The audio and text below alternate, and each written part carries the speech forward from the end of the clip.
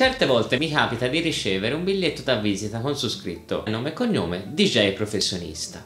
Ma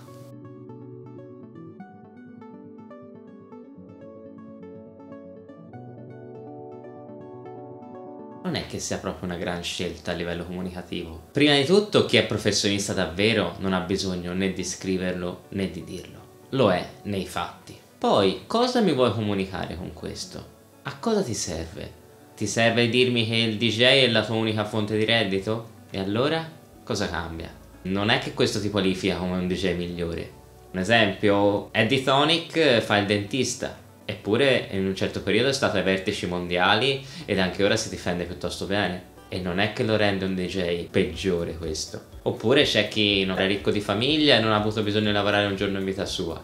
E allora non fa differenza con chi ha il suo lavoro e poi contemporaneamente svolge il DJ nel migliore dei modi. Anche perché oggi un DJ non è soltanto un DJ, molto spesso è anche produttore, è anche label manager, è anche social media manager e si cura anche i propri eventi e quindi deve saper fare un sacco di cose contemporaneamente. L'importante è che le faccia bene e che le faccia in modo professionale. Ecco la parola chiave. Non importa tu sia un professionista, cerca di essere professionale come obiettivo di tutti i giorni. Io per anni ho cercato di fare il professionista, di fare soltanto il DJ, mi sono impegnato molto. Ci sono anche riuscito, ma non necessariamente questo mi ha reso migliore e mi ha fatto fare delle ottime scelte. Anzi, qualcuna sinceramente l'avrei anche evitata. Perché ti dico questo? Perché non mi serve che tu dimostri a me o al mondo che riesci a campare soltanto facendo il DJ. Non mi interessa questo.